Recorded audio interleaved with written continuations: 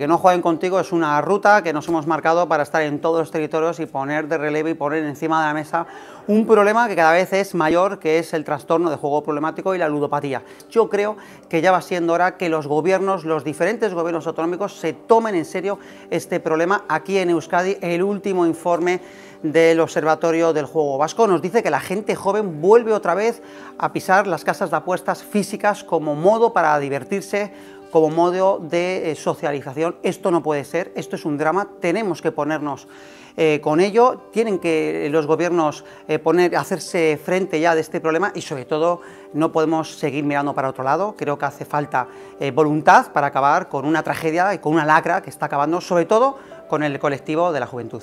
Gaur etorri gea jokuari buruz hitz egitera, jokuak ze eragina daka gure bizitzan, ze eragina daka gure gazten artean, gure helduen artean, gure txikien artean, zer eragina izan du orain arte, zer eragina dakan orain eta zer eragina izango du.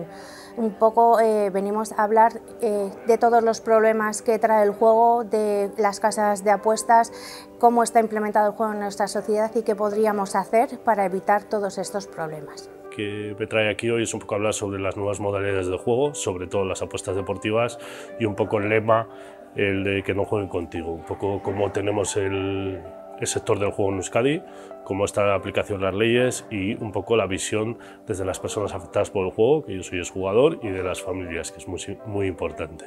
Estos debates y con las charlas que se da o cualquier tipo de movimiento es un poco informar y dar a conocer qué tenemos, cuánta cantidad de juego tenemos, cuánto se juega y a quién afecta. Eso es muy importante. Entonces yo creo que endemoniar el juego no lo podemos hacer, prohibirlo tampoco, pero sí lo que podemos hacer es dar información y regularlo de la mejor manera posible. Y sobre todo uno de los pilares más importantes sería la prevención, la atención a las personas que desarrollan una adicción sin sustancia de sus familias.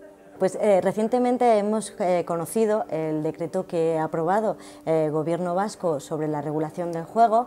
También es verdad que hemos eh, conocido el informe que recientemente ha elaborado el Observatorio Vasco del Juego en el que nos preocupan determinados datos. Uno de los datos que más nos preocupa es el hecho de que los jóvenes se socialicen en las casas de apuestas.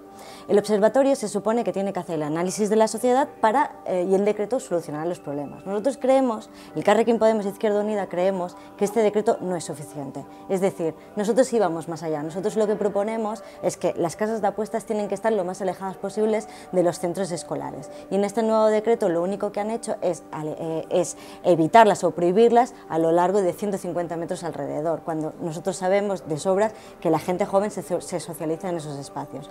Por lo tanto, creemos y consideramos que tenemos que ser mucho más valientes en cuanto a las medidas, consideramos que este decreto eh, es insuficiente totalmente para solventar el problema de, la, de, la, de, las casas de apuestas y de lo que genera no solo en la adicción entre los jóvenes, sino también en el entorno familiar. Bueno, gaurko saioan e, nire asmoa da hitz egitea e, jokoaren behatokiak emandako datuen inguruan, bereziki gazteak jokoaren inguruan e, ba, nola jokatzen dugun, e, zen portzentaiak e, jokatzen du e, urtean zehar, eta horrelako datuak emateko asmoa dugu, eta horretaz gain baita ere e, zehazki zin proposamen ditugun Euskadiko Gazteriaren kontseilutik. Eta horietako proposamen e, garrantzitsuena litzateke prebentzioan jarri behar dugula atentzio e, garrantzitsua edo berezio.